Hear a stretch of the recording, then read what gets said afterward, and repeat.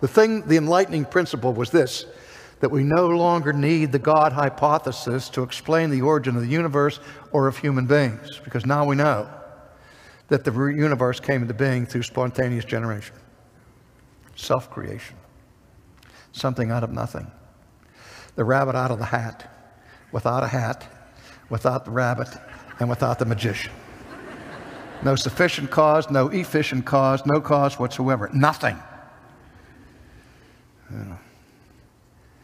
And so that option of self creation can be eliminated right off the bat.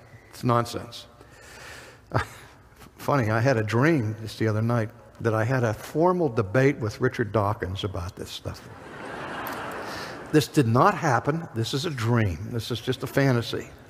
And in the dream, I went that he was pleading for some kind of self-creation, and I went through this uh, dialogue with him, and I said, "Please tell me how something can create itself out of nothing."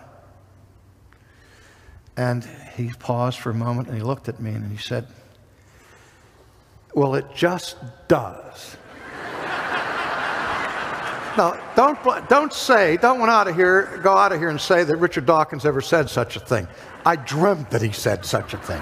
Uh, he's not guilty of this at all. He probably would be if we had this conversation. But, but I said, he said, it just does. I said, it just does?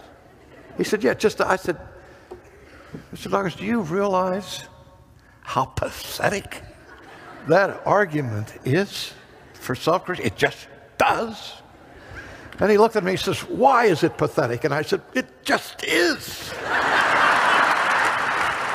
and, uh,